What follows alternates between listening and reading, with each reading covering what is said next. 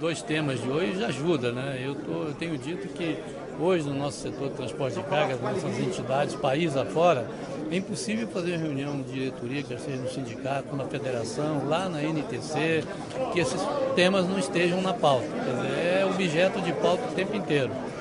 E, e dois temas muito importantes.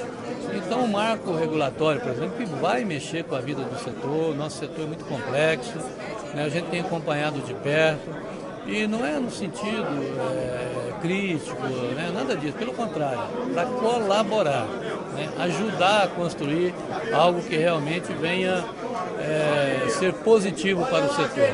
E na parte da tarde nós vamos ter o tema trabalhista, né? que é outro que hoje mexe com a vida de todos nós, não só de transportador, mas como da economia em geral. E que nós queremos realmente, eu diria agora, ser protagonista nesse, nesse processo. Um assunto que só o setor de transporte vai resolver.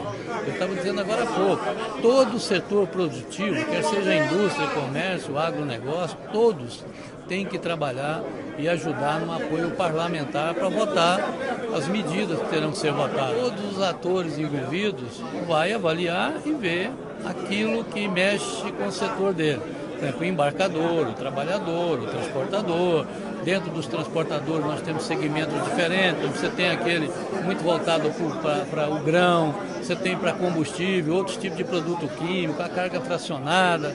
Então, é N segmentos. E de repente, um segmento desse pode se sentir que aquilo vai atrapalhar, quer dizer, a operacionalidade dele. E é aí que nós queremos atuar no sentido de conciliar tudo isso.